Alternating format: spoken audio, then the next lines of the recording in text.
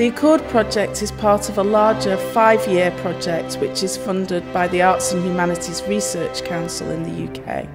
And that's called Transforming 19th Century HIP, Historically Informed Performance. We wanted to explore what was different about the sound of a 19th century string ensemble compared to the string sections that we hear in uh, modern orchestras today and period instrument orchestras today. And what we know is that the sound of a 19th century group of strings is very different to what we hear in ensemble playing today.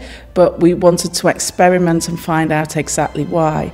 So in order to do this experimentation and investigate what a 19th century string section might sound like, we needed to get players who were willing to do really crazy and outlandish things that they'd never normally do in professional life.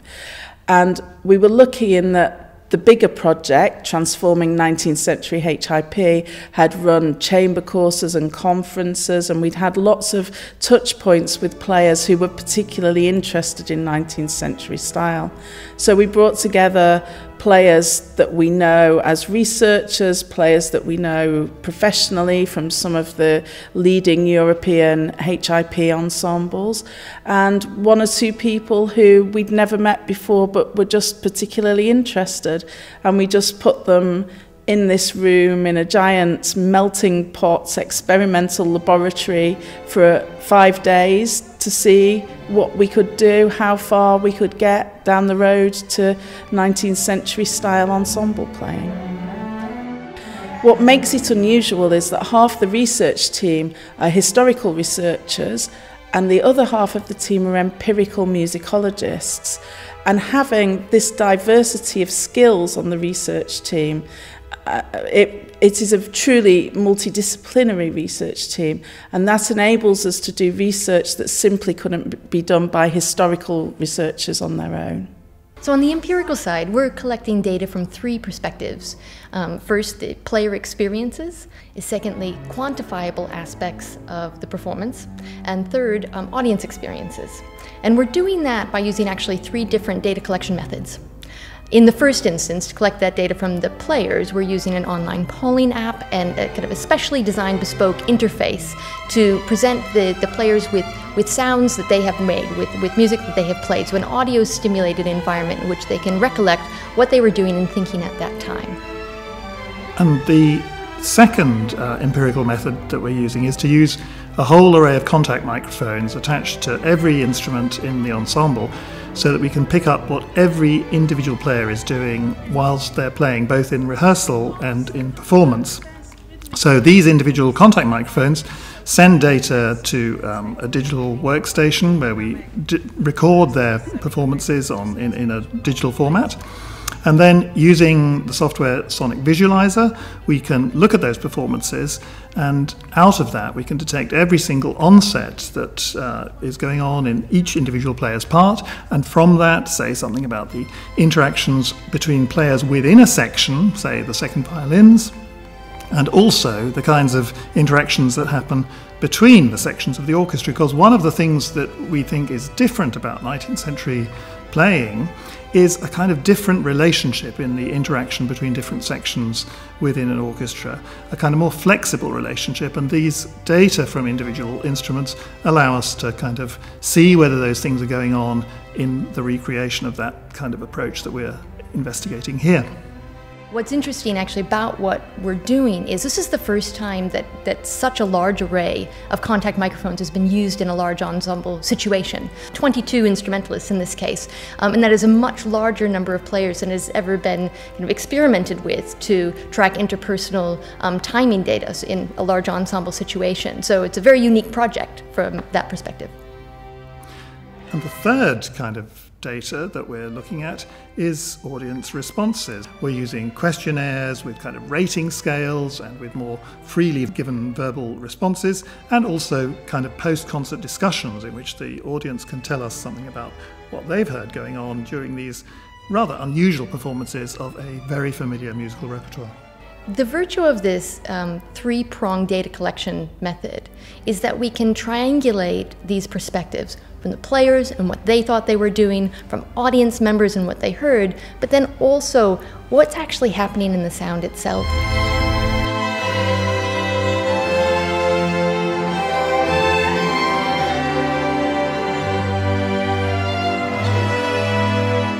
So some of the things we've been working on, um, the players will have encountered before, approaches to the way we shift from one position to the other on string instruments. So portamenti, audible shifts, um, some of the bow strokes some of the players will have encountered before, even though they tend not to be used that much by many of the period instrument orchestras. But what is really new to all the players is the idea that we can sometimes deliberately not play together and getting used to changing the bow at a slightly different time to the person next to you is quite tricky. Um, in order to make that a little bit easier, what we've decided to do is use individual music stands rather than having two players at a desk um, because we really want people to feel able to use much more individuality than perhaps they do in other ensembles that they play with. Um, and getting used to this idea of the asynchrony is tricky because players are brought up from a very early age being taught that the, the most important thing they must do is play in time and together with other people. Um, and it's also quite a subtle thing how much is too much, how much is not enough. Um, and there are times when it feels like the players are doing you know, a really large amount of asynchrony and it's hardly audible. And there are other times when they don't feel like they're doing so much, but actually it comes across as sounding too much. So really experimenting with what works and what doesn't. Experimenting with how legato the bow changes are, the speed of the bow changes, that all comes into play. And one of the other key things about this ensemble is that it's the first time a whole ensemble has used heavier, uh, thicker strings with higher tension in gauges that would have been available in the 19th century. So sometimes we've had to get strings specially made, for example, for the double basses. Um, and in other cases, the, the instrumentalists are using strings that have a much higher gauge than, than they normally would. Many of the violinists are using, uh, for an E string for this project, what they would normally use as an A string in, in other ensembles that they play. And so we're interested to see how that affects the sound and also the bow strokes that we use. The idea is not that in the course of five days we can um, arrive at a definitive point and say this is how 19th century string ensembles sounded. Far from it. It's a toe in the water. Uh, it's introducing a huge number of new concepts to players and what we're hoping is that it will just be enough to whet their appetite, to go back, to experiment. Some of the players here are chamber musicians, some work in different ensembles. We have a very wide international spread, people from Canada Canada, the States, Hong Kong, all across Europe. Um, and what we're really hoping is that this will get people talking, uh, get people experimenting in their own playing, and that actually it might just uh, provide one extra form of expression that people can use to make really engaging performances of 19th century repertoire.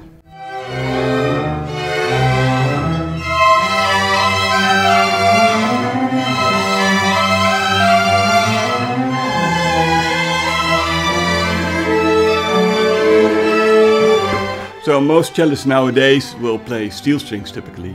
Um, so they're thinner, uh, heavier and have a very smooth surface uh, and are less flexible than gut strings. So um, that is the big advantage of these gut strings, that they're rougher, thicker and you feel the material more. Generally speaking, uh, you have more expressive possibilities on these strings because uh, the difference that you make in contact point and pressure and bow speed, they get uh, more amplified than when you would use steel strings. So uh, that accounts for the more um, extended expressive possibilities of these strings.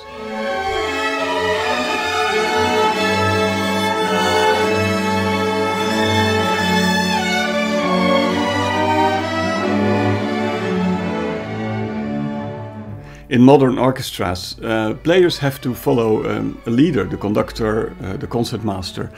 Um, of course, we have a leader in this orchestra, uh, but the players all have to follow their own compass, and that creates a sense of uh, spontaneity in the playing. So you will notice this spontaneity in our choice of bowings. We, we could use uh, bow in opposite directions for a while, and then find each other uh, in the next bar. Um, and also, not playing together can give a certain warmth to the sound and uh, uh, give sonore possibilities that we wouldn't have if we would align everything.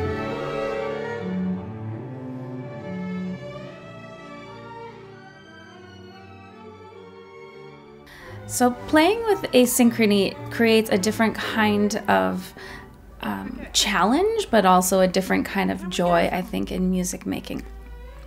So I'm the kind of person that likes to be very free when I play. So being able to play in this way gives me a certain kind of freedom. But because all of the players are doing sort of their own thing, in a way it creates a different kind of listening challenge.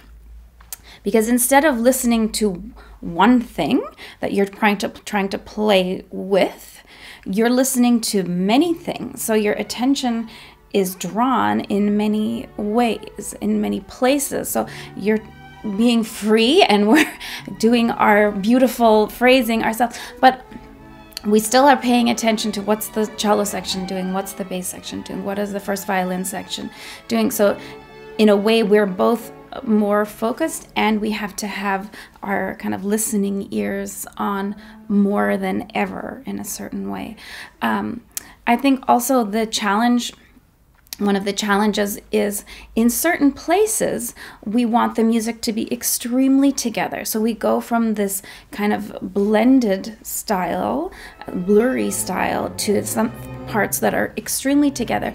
And i think the change in the brain from this kind of artistic freedom feeling and that really really togetherness is challenging. It's it's really a different kind of brain function audiences are used to listen very tight ensembles, very in tune, very tight, you know, very uh, structured, rehearsed. Uh, they are used to listen final products, recording products. And I'm only hoping that they can see this as what it is, you know, this new experimental result um, that it will only uh, it will only it's, it's only the open door you know to other possibilities other ideas other ways of performing this music.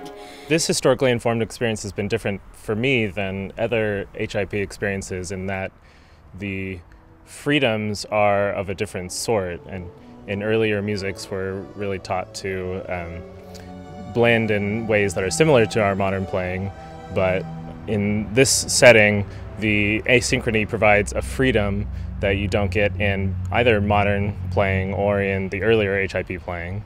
At the same time, so many of the same aspects that we're, we work on in our HIP playing for classical or Baroque or earlier music uh, come into play. The different sonorities that you get from the gut strings and particularly from these high tension strings that we're using. The strings we're using are a totally different experience than the gut strings that we use when we do Baroque or classical music because of the high tension and the, th- the thickness and extremity of these strings, it takes a lot more weight of the arm and a lot more uh, emphasis, or shall I say, a lot more input in order to make the sounds that you're looking for. Of course, like any strings, they make a rather normal sound when you're playing in a sort of mezzo dynamic, but to get the extremes of the dynamics, the pianos and the fortes, you have to do much more work in order to either get the string started in a quieter dynamic or to really find that higher dynamic level that is beyond just a, a normal level. And of course, the Tchaikovsky we're playing is full of all these extremes, these pianos and pianissimos, and even quieter sometimes. And then the fortes, fortissimos, three Fs, four Fs, it's all there, and we have to find all of that. Um, but these strings also make, especially those higher dynamics, much more possible than I think any of us could have imagined from our Baroque training, we often think of these gut strings as strings that are quieter than their modern counterparts. But these versions of gut strings that we're playing on with the higher gauges produce, I think, upwards of an equal level of sound to the modern strings. Portamento is one of the most exciting parts of this process, I think. It's the gliding in between notes, which we're trained to do from a very young age as players in our modern repertoire, and particularly in this romantic repertoire that we're playing. But the manner in which we're doing it, in particular, the slower gliding between notes, the slower portamenti, and some of the types of portamenti in particular, my favorite one is sliding on the same finger that you've used for the previous note, which is all but outlawed in our 20th and 21st century training. Uh, it's been very enjoyable for me to use that, and it opens up a lot of possibilities. And among the freedoms that are so exciting in this style is the fact that when you play in a section in your modern orchestral training, you're taught to never do anything that disrupts uh, the sound within the section or um, is unusual from everyone around you. But in this newfound freedom of 19th century expression, we often have portamenti happening in different parts of the same musical phrase within a section. Or if, say, my viola section and the cello section are playing a melody in octaves together or something, that maybe among the eight of us, there will be eight different types of portamenti within the same melody. This is really exciting, and despite the lack of uniformity it creates, I think it creates something much more beautiful the unexpected moments that you get when the shift of the sound between two different players or the entire section changes because of someone else's decision. I suppose there probably are drawbacks, but I haven't found any yet. I really enjoy the the shimmer that is created when two people do a slightly different decision, somewhat asynchronously in this. I hope the experience of an audience listening to this music um, will be something similar to my experience hearing this kind of style for the first time, which is, uh, you know, an opening up of our ears to this, what this music can be. And I think one of the striking things about this rehearsal process has been to see all of the members of the group really engaged with each other and engaged with the music. So I think one of the real strengths of this working style is this sense of individuality. So each person is really responsible for the musical intention in the phrasing. And so I think the the character and the life of the music really comes out in a very strong way. And I think maybe at first sometimes the asynchrony feels a bit jarring. And we also um, are exploring portamenti, which is the sliding between the notes that they use. So that might be also a little bit um, different. But I think it's the kind of thing that the more you listen to it, the more um, you you see the beauty in all of these techniques, and also we see the beauty in the music.